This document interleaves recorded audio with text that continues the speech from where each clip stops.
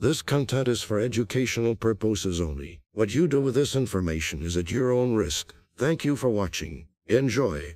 How's it going everyone? Welcome back to another video. In today's video I wanted to share with y'all that I have recompiled the Tesla menu so that way it supports the latest switch firmware which is right now 21.0.1. So as you can see on my screen you have my switch at the current version of switch firmware 21.0.1 with atmosphere 1.10.0 and I have Tesla running in the background. And uh, for the rest of this video we're going to go ahead and set up the Tesla menu. And I'll be testing out just a couple things with it just to show you that it's working on my end. But that being said, let's go ahead and check it out. All right, the first thing that we can do is open up the SD card that we're using on the Switch.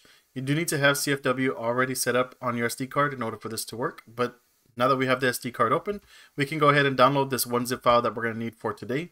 So if you look in the description down below, there's going to be several links. One of them should say click here to download the Tesla menu for 21.0.1, something like that. Once you click on that link, it should take you to my GitHub page and here will be the release uh, that I have for Tesla menu. And all you need to do is just navigate to this assets area and click on this link to start the download process. If you do not see this option, it's probably because the assets tab is closed. You can just go ahead and click on this and you should be able to see it.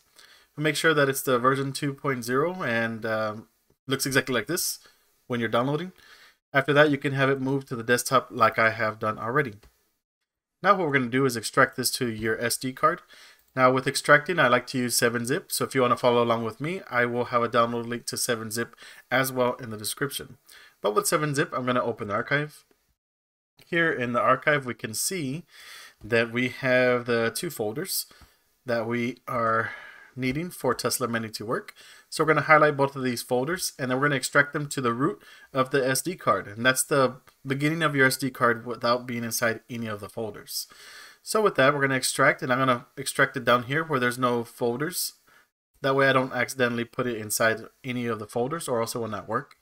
But right here it says this destination has files the same names. If you have an older version of Tesla menu, it's going to say this message for you. Just go ahead and replace the files in the destination.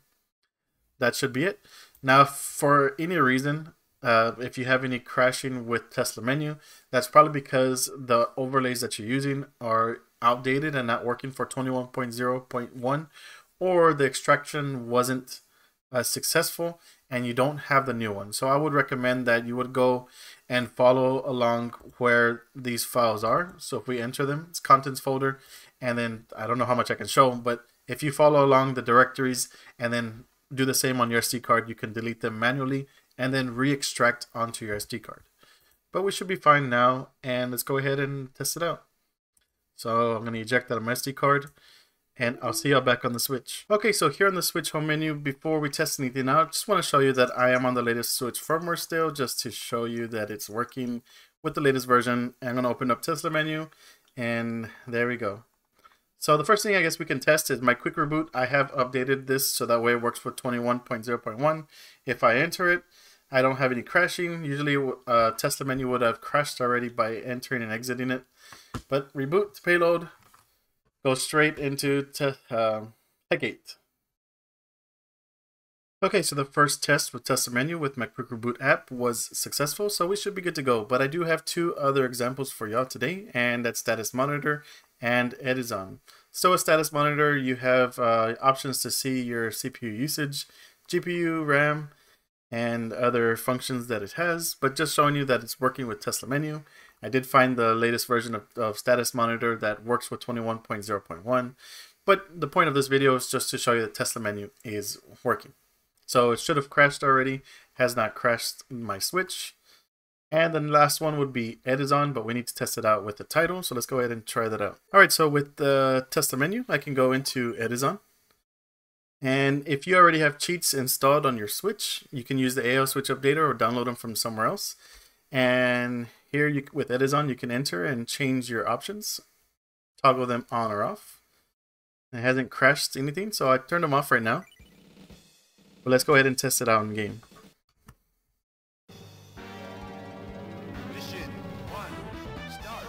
I hope it's not overpowering my voice, but I should be able to die if... There you go.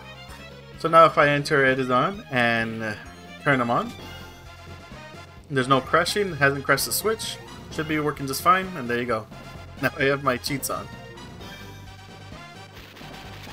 And I shouldn't be able to... Well, there you go. So...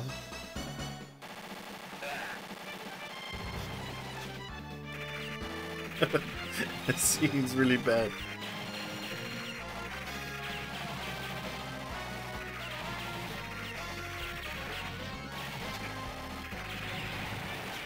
But there you go.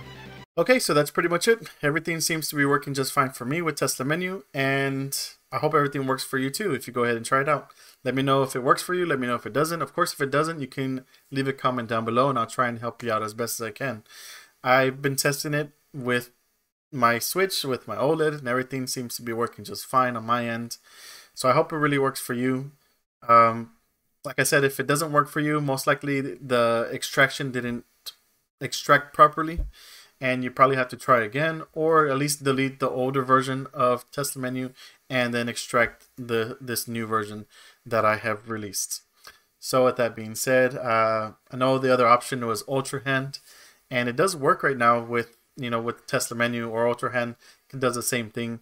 But it has a lot of functions that you know wasn't really interested in, but um, to each their own. I want it to be simplified. That's what I'm used to, the Tesla menu.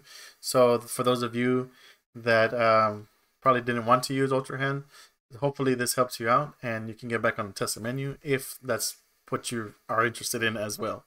But with that being said, thank you for watching and I'll see you on the next one.